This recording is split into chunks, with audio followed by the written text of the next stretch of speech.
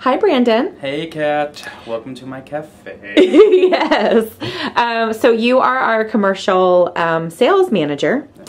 And um, so I'm in the market to buy a commercial machine, but I'm really not sure how much machine I need and or can afford. Common question. Okay. All right, number one thing I deal with, yes. Mm-hmm. Um, biggest question, everyone, you know, hey, I want to do this. Uh, No one thinks about where to start. So, Okay. right, we're going to drink, do how many drinks per day, per hour at your max peak. Okay. Um, everyone always comes at it from a budget standpoint. I have $3,000 to spend. That doesn't really help. $3,000 works great if you have a small amount of drinks, but if you come and say, I have $3,000 to spend, but I want to do 300 drinks an hour, doesn't quite equate out. Okay. Uh, so what we're going to do is talk about numbers today. Okay. That's lost half the viewers right there. um, well, we kind of charted it out for those more visually inclined here. So, so why don't you ex- explain to me what you have going on here? Perfect. So we are going to talk today about just a basic drink, 16 ounce latte, no flavoring or anything like that. So just milk and espresso, very simple. Okay. Um, 16 ounce latte, two ounces of espresso basically is going to go into that. Uh, the rest of the cup, 14 ounces, is going to be filled with steamed milk. Okay. Um, when we say the word steamed, you got to remember cold milk. The goal of expanding of, of steaming that milk is expanding, doubling the size. So 14 ounces of steamed milk is going to be seven ounces worth of cold milk. Okay. Um, so when we're doing our cost basis here, we're looking at cold milk. Seven ounces is what's going into that frothing pitcher. Okay. Um, past there, we're going to look at a pound of coffee, roughly eight dollars a pound wholesale. That's going to range whether you're in New York or the middle of somewhere else. Um, but you're, what you're going to do is get 32 double shots out of a pound of coffee. A double shot of espresso is 14 grams worth of coffee. That's two ounces. Based on that number there, eight pounds, you're looking at 25 cents a drink in that double shot. So it's 25 cents for 14 grams of coffee. Of, of coffee. So raw goods. Okay. Now, if you're at home doing the math, if you're paying nine dollars a pound, just up that a little. Yeah. Uh, we went a little high in the milk, four dollars a gallon. Um, I'm sure it's that in some places, Mm-hmm. in other places it's less. Uh, but when you're looking at a gallon of milk is going to get you 18 drinks. When again, seven ounces of cold milk. That's what we have to use our cost basis. For. Okay. Uh, based on four dollars four dollars a gallon, we're looking at 22 cents. That's going to go inside of there. Mm-hmm. Um, of course, you got to have a cup and lid. If you have porcelain, this you know just eli- eliminate this. But cup and lid is going to cost you about roughly 20 cents per drink. Okay. Um, it's going to bring our raw goods down to 67 cents inside that cup. So we're looking at a 16 ounce latte, just espresso and milk. 67 cents is what you got in the cup Okay. as a cafe owner. and that's not obviously if you're doing flavorings and all that kind of stuff, that's going to add to that that basic raw goods. But this is just a straight up. Yeah, and we'll Double get into 16 ounce latte. flavors later. It does add to the raw goods, but keep in mind it takes up volume. So if you put in two ounces worth of Monin syrup or Yeah. Syrup, it also takes up volume, so we cut the rest of the milk down. Got it. A little bit Okay. of difference.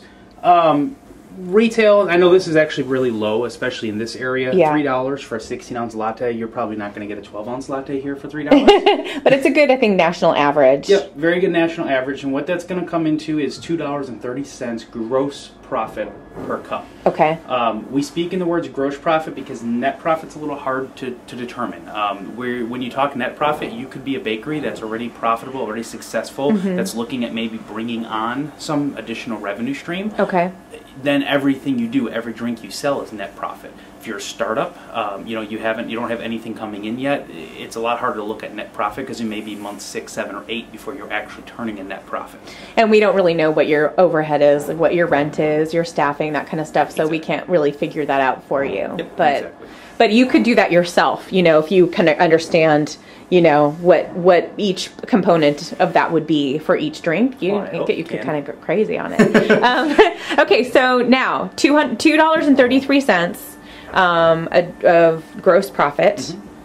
So the next question, what we're going to try to relate this to, is how long does it take to pay off a machine? Okay. Because now we're getting back to again where we need to start, not on the dollar amount, but the big thing in commercial is how many drinks are we going to produce. Mm-hmm. Um, so now what we're going to take a look at here is two dollars and thirty three cents. It's four hundred and thirty drinks you got to serve to make a thousand dollar gross profit. Okay. When you put it this way, it's really it's not as scary as it sounds. You say a thousand dollars. If you had a thousand dollars that you were financing or paying off or whatever, Mm-hmm. if you were serving, we're gonna just do thirty drinks a day. Very tiny. Okay. I, mean, honestly, uh, very very small bakeries, bookstores can serve more than thirty drinks a day. Mm-hmm. What you're looking at is a thousand dollars would take you fourteen days in gross profits to pay this off. Okay. Um, so now again, take that case scenario where we're adding it on. You're already profitable as a company, so this is pure profit. Mm-hmm. It's 14 days for a thousand dollar machine.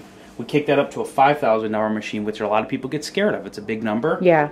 Talking seventy days. We're talking just over two months. Okay. And it's paid off. And keep in mind, these machines, they're going to last you, take care of them, they're going to last you five, seven, eight, nine years. Mm-hmm. Um, you know, and you're talking about you're paying off that investment in 70 days. Okay. Um, and we just, just to go crazy with it, to look up, because this is what we have $10,000 machine, which a lot of people say, oh, it's too big of a machine for me. Mm-hmm. But even at 30 drinks a day, and at all these low, honestly, low numbers, Mm-hmm. um, you're only looking at 140 days. So we're not even really at the half year mark Mm-hmm. to physically pay off a $10,000 machine, which is Mm-hmm. going to get you a top of the line machine. It's going to get you that Aurelia, that Classe 9. Yeah. Um, you know, something in the La Marzocco range as well. And really to go crazy, $20,000 machine where uh, only in Seattle do you see these 20,000 hour machines. What are you, nuts? um, but even something like that, you're not even at a year yet. You're at 280 days Yeah. to actually pay off a $20,000 machine. So obviously, if you're saying, "Hey, I know my business. I'm, you know, I need to buy a new machine. I'm already clocking hundred drinks a day." That's going to bring all these down considerably, like mu- much more uh, quickly to pay it off, Yep. right? It's it's dramatic, and I mean it's hard. Again, we when when I talk to people, the first thing people think of this machine is a cost, and it's not a cost; it's an investment. Um, you are using this to run your business. You are using this to make money. Um, you have to look at it as an investment, not a cost. Because as soon as you look at it as a cost, as it's it's something that you're sinking money into that you're just losing value. yeah. it- then you talk yourself into buying a machine that's not right for the volume. Um, and that is the number one most dangerous thing you can do as a cafe owner. Buy a machine that, if you're going to serve 100 drinks a day, you buy a machine only capable of 50 drinks a day. Um, it's You're not just going to get 50 good ones and 50 bad ones. You're going to get 100 bad ones. Yeah. All right. Cool. Thank you so much, Brandon. Not a problem. Thanks, Kat.